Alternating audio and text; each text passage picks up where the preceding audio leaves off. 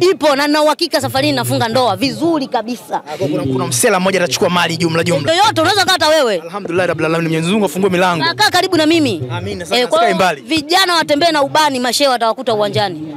Kwa maana yake Mwarabu anakwenda nje, sio kufungwa, anakwenda nje moja moja kwa moja. Ukija siku ya siku ya Ijumaa unashuhudia vitu vikubwa viwili vya kihistoria. Unamshuhudia mnyama akitinga tu ya nusu fainali akimtandika Mwarabu vibaya vibaya, alafu unakuja kuishuhudia ndoa ya K Mziwanda. Mambo mawili makubwa ya kihistoria. Si Kwa nini danganya mwezi wa Ramadhani huu? Mambo makubwa mawili ya kihistoria kwenye nchi hii yataandikwa, si unanielewa?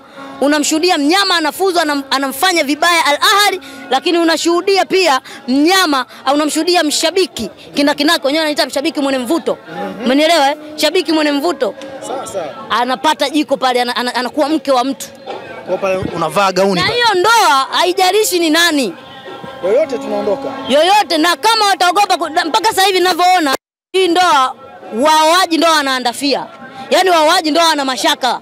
Mimi mwolewaji si